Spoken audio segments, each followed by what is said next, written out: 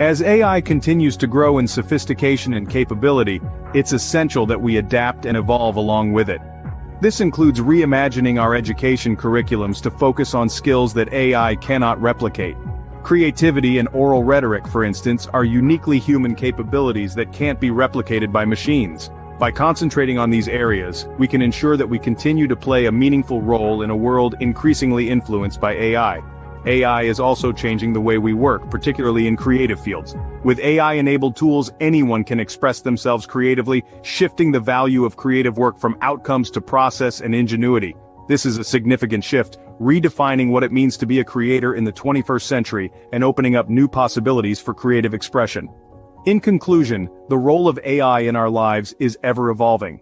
It's an exciting journey of innovation and discovery, with new applications being found every day.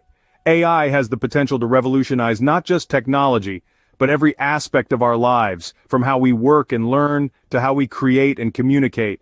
And with that, we come full circle to our opening question.